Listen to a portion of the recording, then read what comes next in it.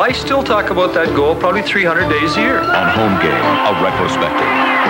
20 years later. It was our country against their country. And the effect Glasnost is having on Soviet hockey.